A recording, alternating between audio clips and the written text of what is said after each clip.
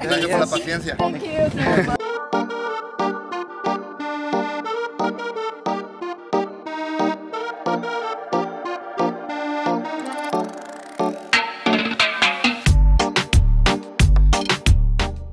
queridos amigos del Sapo, felicidades nuestro nuevo remolque. Va para el norte de Virginia, para el lado de Woodbridge, Virginia, Manassas, Virginia. Ahí vamos a estar sirviendo al lado de Fairfax.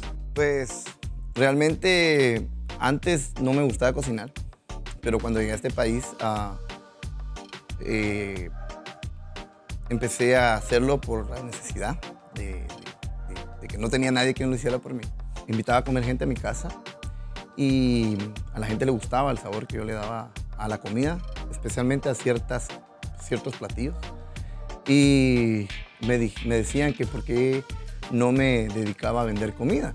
Ok, nace la idea porque ah, nosotros somos cristianos y mm, nuestro pastor es un pastor que fomenta el progreso eh, dentro, de la, dentro de la congregación. Nos insta a que no nos quedemos donde estamos. El pastor me dijo, mi hijo, deberás de poner un negocio de comida. Y ahí nace la idea de poner un- una, venta de, una venta de comida ¿Cómo encontraste One Food? en un anuncio online.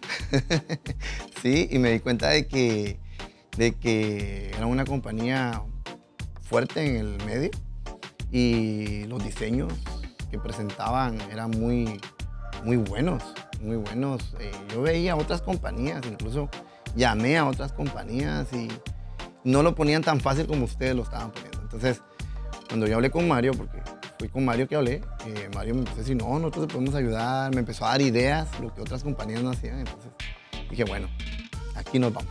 Ujú.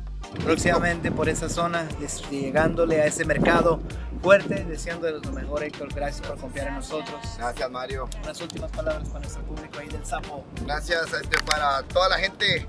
Le recomendamos el sapo, que vengan acá.